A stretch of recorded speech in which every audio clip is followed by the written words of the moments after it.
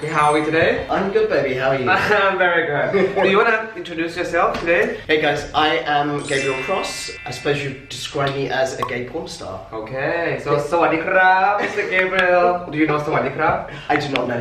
Sawadee krab is it, yeah. hello, hi in Thailand. Uh, uh, okay, how do I say it? Sawadee krab. Sawadee krab. Yeah, see? Now you can start having Thai fans from Thailand. So, let's talk uh, I know you from gym. Yes, The story was very interesting. So, we've met in the gym before. we did. We got and, chatting. and got chatting and because we live really close to each other we were talking we were like oh hey like do you live around in the area Yeah. and then we were like let's grab drinks or coffee sometime Mhm. and then we were exchanging instagram Yes. but before before before you gave me yours i was giving mine to yours right and you warned me that it was kind of racy. I was like, just so you know, my Instagram is a little bit, a little bit extreme. And you were like, sure. oh, here's mine. and then when you gave me yours, and I was like, oh, he's a porn star, a, sex- a oh. successful Oh. porn star too. Oh my god, so that's amazing.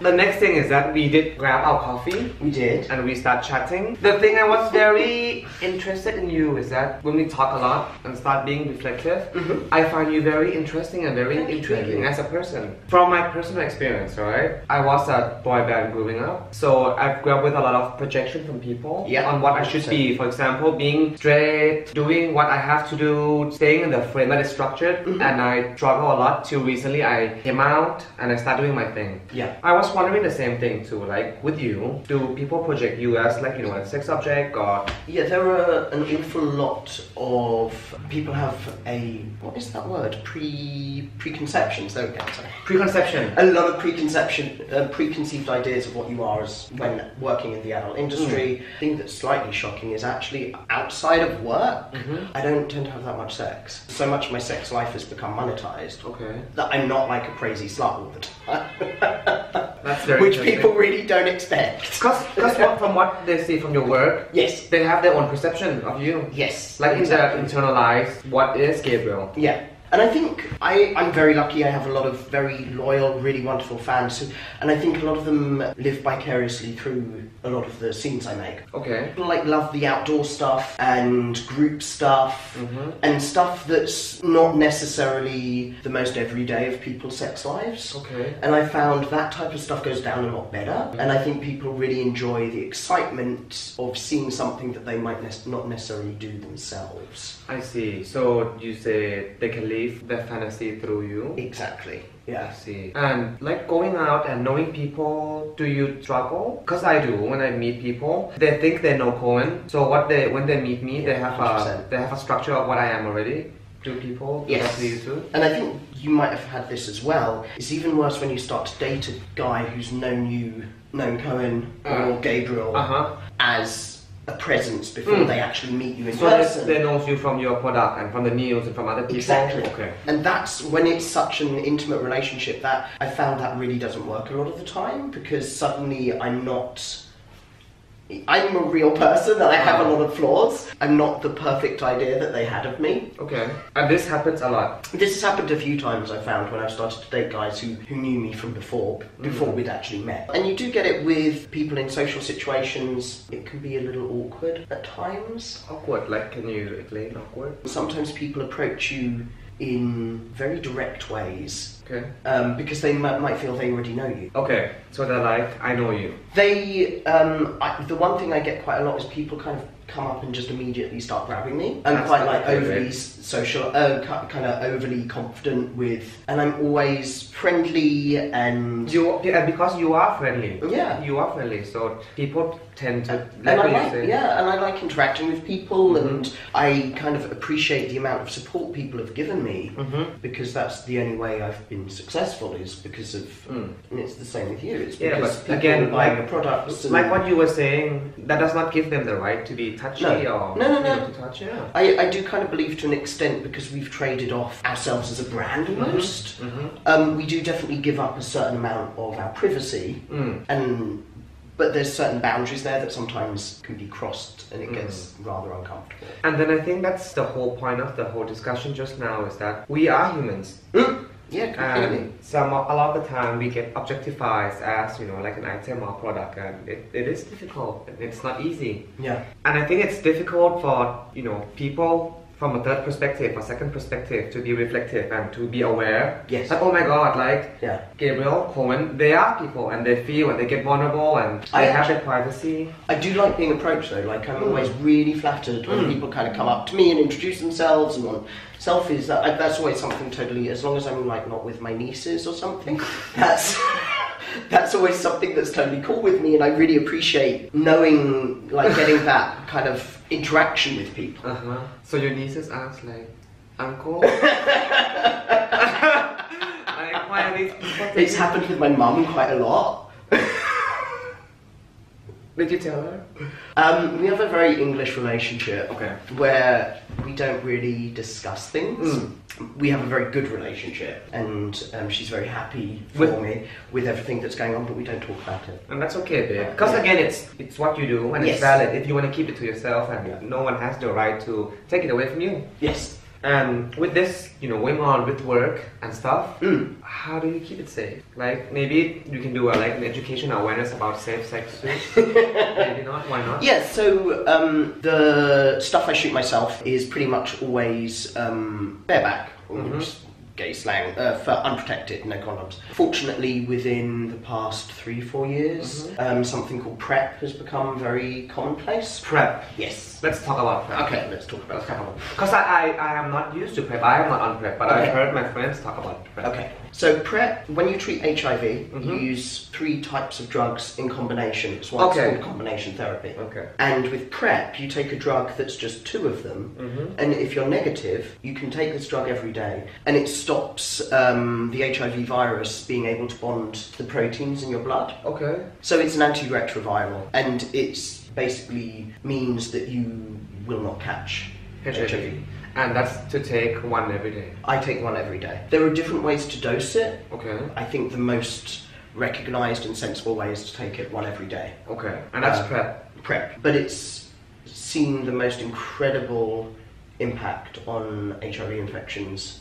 In London, at Dean Street, which is the clinic I always Mm, use, mm, mm. they saw an 80% drop 80% drop. in their HIV infections. Wow. And that's that was even before PrEP was readily available. Okay. and also now with more effective combination therapy and people being responsible if they are positive about being on treatment Mhm. because if you are on treatment um, and you're undetectable it means you cannot transmit the disease Mm. even to even though you have it you can't give it to someone else Okay. so we're very lucky that um, things have really Changed. changed in the last few years Yeah. um, and I'm very, very lucky that um, PrEP has come along when it has. Mm. Um, it's kept me safe. Yeah. And I think in this era, with HIV, it's more controllable now. But that's Exactly. the, the, the stigma with it. There's a huge Because stigma. the generation before us, they had suffered and they, you know, it's been a long way and Yeah, I think as the gay community, it's something we really need to remember and recognise and Definitely. know about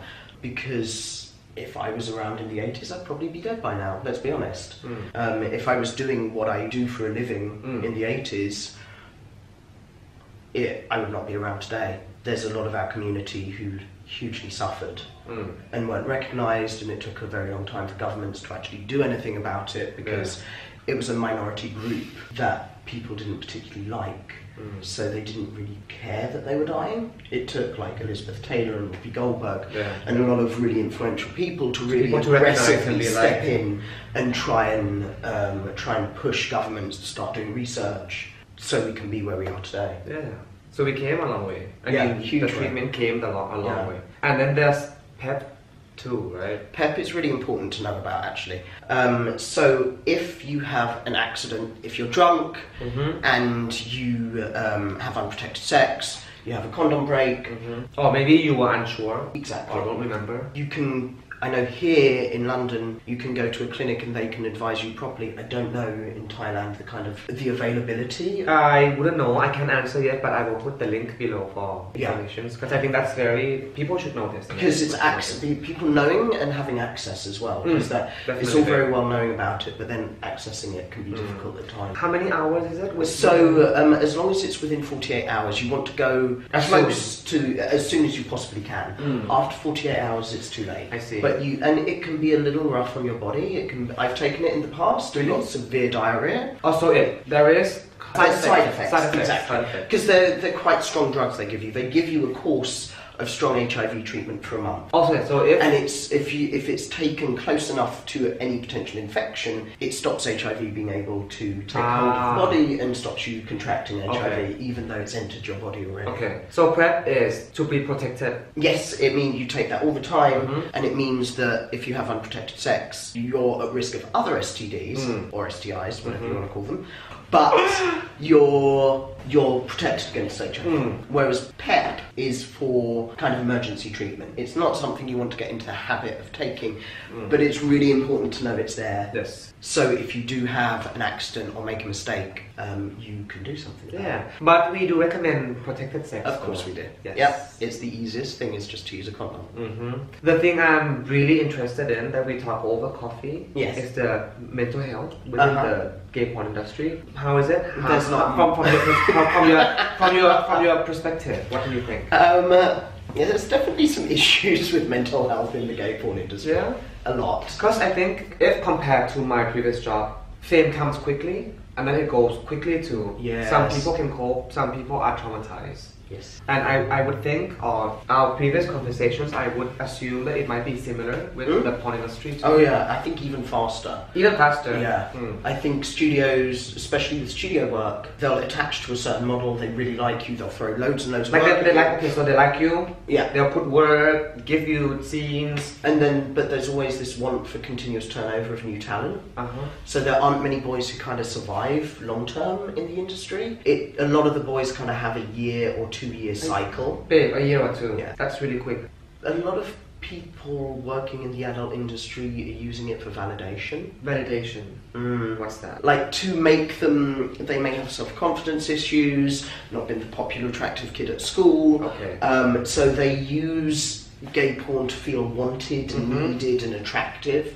I'm not saying that I don't do this, just to be clear. And there's no definitely no judgment here. And that could be really toxic too. Like social Well, media especially when you start getting negative stuff on social media, that can be really hard to Mhm. deal with. It's and also when the work stops, and there's a shockingly high rate of drug overdoses and suicides. and drug overdose and suicide too, Yeah. because of the stress from work. I think it's suddenly the work stopped, and a lot of a lot of guys don't have an alternative skill set Mm. to earn money. In terms like finance or to savings or how to handle it and take it to the next step. Exactly. So that it, it can be a very harsh, um, harsh kind of industry that Mm. spits you out very quickly. And So- that, that's one thing I'm really happy to hear from you. Because throughout many of our conversation, I'm like, wow, this guy has planned everything. Like, but with you and when we talk, you sound very reflective. You know that you were fortunate. You seems like you work really hard on your projects. Mhm. And it sounds like you're investing on things and you do saving savings and I think that's really good. Well, I don't know when it's going to be gone because. I'm not going to be young forever. And that's really as smart you. hard as I try, and my dermatologist tries. So today, Yes. thank you for joining me and uh, thank you. educating me on this and you know, making awareness. Right now, I'll give you all the time. Promote yourself, Instagram, Twitter. Okay. I would put every picture up and I will put a picture of you probably shirtless over here.